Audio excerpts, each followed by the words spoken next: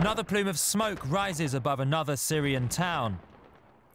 It is a sight that has become all too familiar to ordinary civilians, their lives torn apart by civil war. This time it was the town of Ras Al Ain, near the border of Turkey.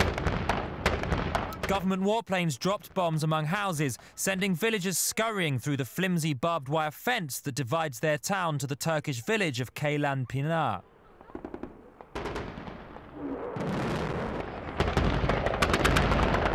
Rebels fired back, with machine guns mounted on the back of pickup trucks, but to no avail.